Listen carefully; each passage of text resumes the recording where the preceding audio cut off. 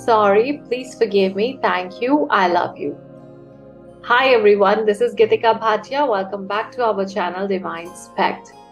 जी हाँ बात कर रही हूँ हो ओपोनो प्रेयर की बहुत सारे व्यूअर्स लिखते हैं कि हो पोनो पोनो प्रेयर कर रहे हैं मैनिफेस्ट करने की ट्राई कर रहे हैं और जो मैनिफेस्ट नहीं करना चाह रहे हैं हम वही वही हो रहा है लाइफ में तो ऐसा क्यों हो रहा है उसका ऑपोजिट क्यों मिल रहा है?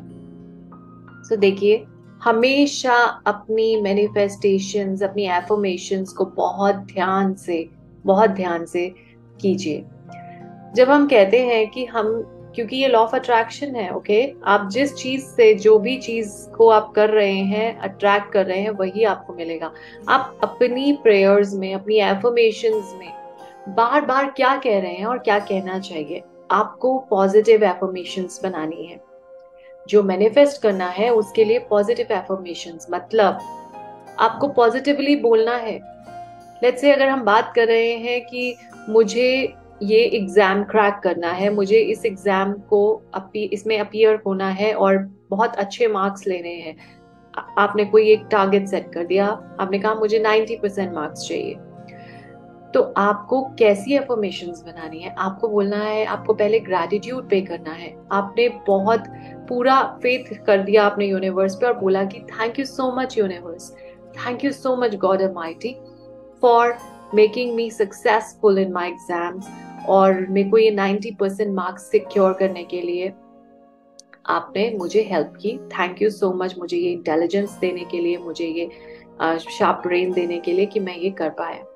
थैंक यू सो मच उसके बाद एक्शंस होंगे। और बार बार यही बोलना है कि मुझे ये करने के लिए आपने मुझे जो भी इंटेलिजेंस दी हेल्प किया, इसको हैंडल करने के लिए thank you so much for this कहीं पे भी आपने ये नहीं बोलना है या नहीं बोला कि कहीं मेरे इतने मार्क्स ना आ जाए, कहीं मेरे सेवेंटी परसेंट मार्क्स ना आ जाए, कहीं मेरे सिक्सटी परसेंट मार्क्स ना आ जाए प्लीज़ गॉड मेरे सिक्सटी परसेंट मार्क्स तो बिल्कुल नहीं आने चाहिए। आप अपनी तरफ़ से सोच रहे हो कि मैंने गॉड को बता दिया है कि ये मत करना। ओके वॉर्न कर दिया है। लेकिन आपको ये नहीं पता है कि लॉ ऑफ़ अट्रैक्शन ये यूनिवर्स चलता है हमारे थॉट्स पे। वर्क करता है हमारे थॉट्स पे फीलिंग्स पे। Okay okay?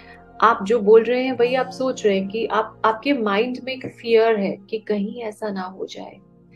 ऐसा ना हो जाए कि मेरे सिक्सटी परसेंट मार्क्स आ जाए। मुझे नाइन्टी परसेंट मार्क्स लेने हैं। आपने जैसे फीलिंग्स सेंड किया, जैसा आपने थॉट्स भेजे, वैसा ही आपने अट्रैक्ट किया और आपके मार्क्स उतने नहीं आए जितने आने थे। और बाद में आप कहते हो कि, मैं तो चाह रहा था कि मेरे इतने आए, लेकिन आ गए इतने। मैंने बहुत मेहनत करी, लेकिन नहीं आए। क्योंकि माइंड सेट हो गया। ये नहीं चाहिए, ये नहीं चाहिए, ये नहीं चाहिए। वर्क भी उतने तरीके से हो क्योंकि 90 परसेंट की तो बात ही नहीं हो रही ना। कहीं 90 परसेंट का तो नाम ही नहीं आ रहा। बात हो रही है कहीं 60 ना आ जाए, कहीं 50 ना आ जाए, ऐसा ना हो कहीं एडमिशन ही ना मिले। नेगेटिव नेगेटिव थॉट्स चल रहे हैं। एफर्मेशन भी नेगेटिव हो रही है। पॉजिटिव की तो कोई बात ही नहीं हो रही। लॉ ऑफ़ अट्रैक्शन को यूनिवर्स को कैसे पता चलेगा कि आपको क्या चाहिए? उनको जो दिख रहा है, जो सुन रहा है मतलब जो आपके माइंड से वो रीड कर रहे हैं, वो फीलिंग्स वो, वही होगा। नहीं होगा, ना हो हो जाए दैट डजेंट मैटर बस आपने जो बोली है बात, आप उसको अट्रैक्ट कर रहे हैं। Sixty percent fifty percent admission now उसको आप अट्रैक्ट कर रहे हैं। इसी तरीके से जब हम बात करते हैं कि हम स्ट्राइव कर रहे हैं या प्रे कर रहे हैं किसी अच्छे लाइफ पार्टनर के लिए, शादी की टाइम चल रहा है लाइफ पार्टनर अच्छा हो प्रपोजल्स आ रहे हैं। लेकिन प्रपोजल्स ऐसे आ रहे हैं जो हम नहीं चाहते, जिस टाइप के रिलेशन रिश्ते हम नहीं चाहते या जिस टाइप का बॉय या गर्ल हम नहीं चाहते, वैसे प्रपोजल्स आ रहे हैं। क्यों आ रहे हैं? आप एक बार फाइंड आउट कीजिए, बैठिए, सोचिए, आप ऐसी कौन सी एफर्मेशन आप कैसे प्रे कर रहे हैं? क्या आप ये बोल रहे हैं कि कहीं ऐसा ना हो कि ऐसा लड़का मिल जाए, कहीं ऐसा ना हो कि ऐसी लड़की मिल जाए। मुझे तो ऐसी लड़की चाहिए, कहीं ऐसा ना हो कि ऐसा हो जाए। Please don't do that make it in positive way आप बोलिए thank you so much universe जो आपकी पसंद है, आप उसको इलेबोरेट कीजिए कि मुझे ये इस तरीके की लड़की देने के लिए, ऐसे नेचर की जो ये करती है, जिसकी ये लेट्स से इस प्रोफेशन में है। मुझे एक, अगर आप डॉक्टर हैं और डॉक्टर ही देख रहे हैं तो मुझे एक डॉक्टर अपना पार्टनर देने के लिए लाइफ पार्टनर जो कि जिसका प्रोफेशन डॉक्टर है मेडिकल में है। तो आप एफर्मेशन पॉजिटिव वे में कीजिए। Negative thoughts negative sentence negative affirmation नहीं करनी है। फिर आप कहते हैं कि वो वाले प्रपोजल्स आ रहे हैं जो हमें नहीं चाहिए थे। तो अट्रैक्ट तो आप ही कर रहे हो। आ कैसे रहे हैं वो वाले? क्योंकि आप वैसी ही बातें बोल रहे हो। वैसा ही माइंड चल रहा है। डर है माइंड में। जितना ज़्यादा किसी चीज़ से आप डरेंगे, उतना ही ज़्यादा आप उसके बारे में सोचेंगे। जो सोच आपके दिमाग में होगी, वही सच होगी, क्योंकि आप उसी को अट्रैक्ट कर रहे हैं। आपने बहुत बार नोटिस किया होगा, जब आप चाहते हैं कि ये चीज़ ना हो बार बार आप कहते हैं कि ऐसा ना हो, ऐसा ना हो, ऐसा ना हो, और वही होता है। क्योंकि आपने जैसा हो, वैसा तो सोचा नहीं, लेकिन जैसा ना हो, उसको आप इतनी बार सोच चुके कि वो सच हो गया।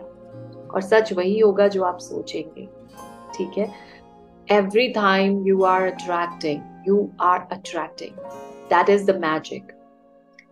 Logic इसके पीछे का आप डीपली सोच के बैठे बै, सोचेंगे तो बैठेंगे और समझेंगे लेकिन इट्स अ मैजिक अगर आपको लॉजिक नहीं समझ में आता है बट इट इज़ ट्रू जो आप सोचेंगे वही होगा वही सच है इसीलिए बोलती हूँ कि आप वो सोचिए जो आप चाहते हैं कि सच हो ना कि आप वो सोचिए जो आप नहीं चाहते हैं कि सच हो।